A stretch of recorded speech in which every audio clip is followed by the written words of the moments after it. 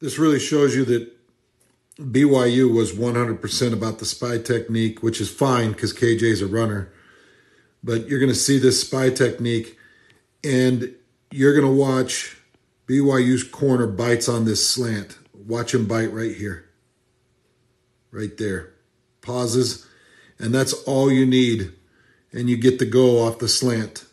You're running away from the single safety high that's going to try to get back over the top to cover this thing but there's just too much area.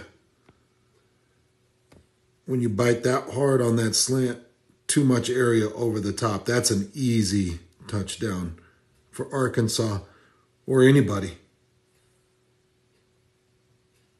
And i don't know what the responsibility is. I i it's so hard to tell defensively what responsibilities are what. If he's supposed to be pressed and manned up here and he's trying to jump the route or or what the deal is.